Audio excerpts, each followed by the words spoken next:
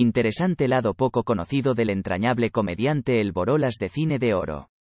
Joaquín García participó en más de un centenar de películas a lo largo de su carrera artística en la que pudo brillar junto a las más grandes luminarias de la pantalla grande. Bienvenido de nuevo a nuestro canal Recuerdos del Cine de Oro hoy. Hablar de Joaquín García, el Borolas, obligadamente nos remonta a su actividad artística dentro de la industria cinematográfica nacional donde pudo brillar junto a las más grandes luminarias durante varias décadas como actor cómico de reparto. Sin embargo, hay una faceta que muy pocos conocen del querido Chaplin mexicano, por lo que en esta ocasión hablaremos de ella y te diremos algunos otros datos que posiblemente no sabías acerca del querido comediante.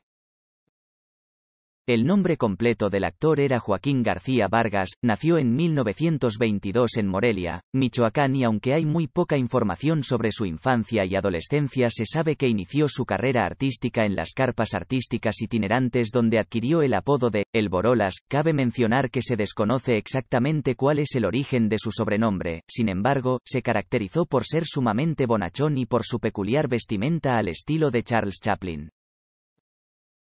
Stanislao Silinsky, quien fue el concuño de Mario Moreno, Cantinflas, y un reconocido cómico de la época, fue el encargado de brindarle su primera oportunidad a Joaquín Vargas para que brillara en la pantalla grande dentro de la película Nosotros los Rateros, 1949 donde pudo demostrar todo su talento y desde entonces comenzó a participar en otras cintas junto a otras grandes estrellas del momento como Germán Valdés, Tintan, Pedro Infante, Andrés Soler y Adalberto Martínez, Resortes tan solo por mencionar algunos.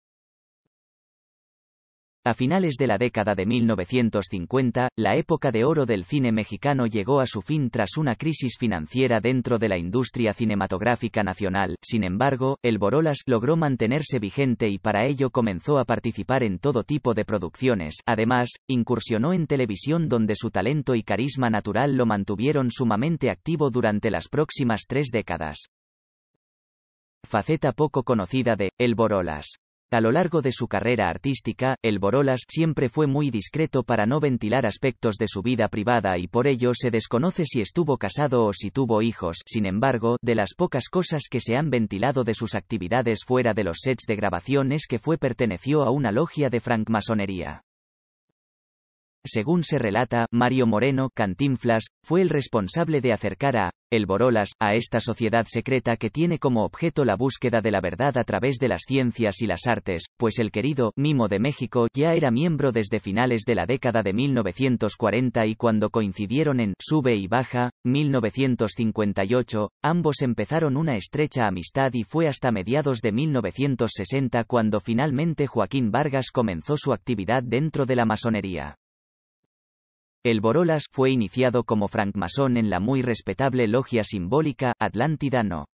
67, y hasta donde se sabe en vida alcanzó el grado de compañero masón y tras su muerte, la cual ocurrió el 13 de mayo de 1993 a causa de un ataque cardíaco, se le otorgó el sublime grado de maestro masón, y en su honor se colocó un mural con su imagen en el edificio de la Gran Logia ubicada en la calle Sadi Carnot 75 de la colonia San Rafael en la Ciudad de México. ¿Y usted? ¿Qué opinas de su interés? Déjame saber lo que piensas en los comentarios y hablemos de él y otros actores talentosos juntos. No dudes en compartir mi vídeo con tus seres queridos para que lo sepan. Y suscríbete al canal Recuerdos del Cine de Oro para más videos. Gracias por mirar, adiós y nos vemos en los próximos videos.